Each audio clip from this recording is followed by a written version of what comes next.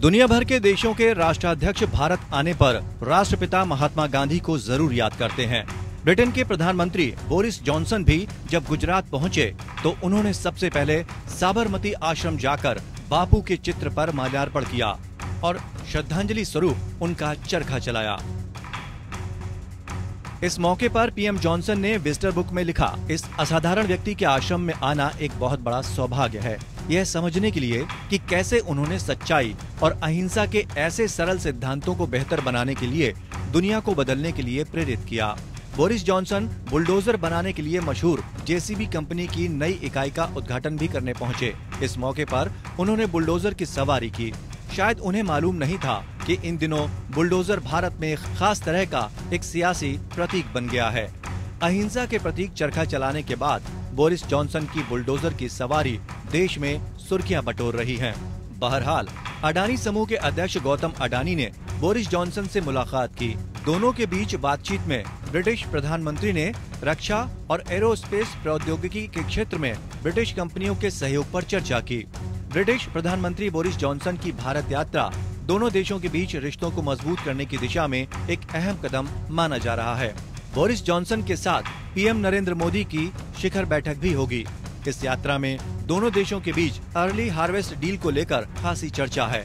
इसे दोनों देशों के बीच संबंधों की नई शुरुआत माना जा रहा है। इसके तहत गुड्स एंड सर्विसेज़ और निवेश को ही नहीं, बल्कि intellectual property rights, geographical indication, यानी जीआई टैग और सतत विकास को भी शामिल किया जाएगा। 2020 में दोनों देशों के बीच 18.3 अरब पाउंड का व्यापार हुआ था।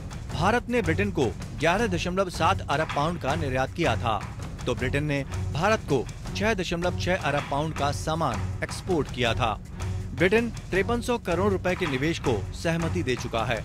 दोनों देश 2030 तक आपसी व्यापार को दोगुना करने का लक्ष्य लेकर बातचीत करेंगे। Just on this trip, uh, we've got about, I think about a billion pounds worth of investment coming from India into the UK. They're the second biggest uh, investor in the UK. That, that investment alone is going to drive 11,000 jobs. We're hoping to complete another free trade agreement uh, with India uh, by, the, by the end of the year, by the autumn. And already you're seeing uh, products like UK uh, medical supplies, British apples, uh, getting ready to come onto the Indian market even before the deal is done. Britain यूरोपीय संघ से अपने रिश्ते तोड़ चुका है। लिहाजा, उपभोक्ता वस्तुओं के क्षेत्र में नई संभावनाओं के दरवाजे खुल गए हैं।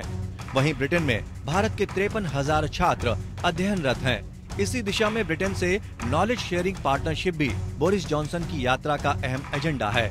इसके अलावा, अंतर्राष्ट्रीय राजनीति के लिहाज से भी बोरिस जॉनसन का ये दौरा महत्वपूर्ण है।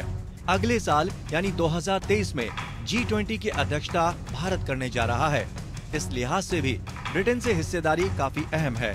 इसके अलावा रूस यूक्रेन युद्ध के मद्देनजर ब्रिटिश प्रधानमंत्री की भारत यात्रा से राजनयिक रिश्ते बेहतर होने की उम्मीद जताई जा रही है। समझा जा रहा है कि पीएम मोदी भारत के तटस्थ रुख को लेकर अपना पक्ष सामने रखेंगे। वहीं इंडो पैसिफिक क्षेत्र में शांति भी दोनों प्रधानमंत्रियों के बीच बातचीत का अहम मुद्दा होगा। भारत इस क्षेत्र को खुला रखने के पक्ष में है तो ब्रिटेन किसी भी देश के एकाधिकार की कोशिशों का विरोध करता है। Bureau report APN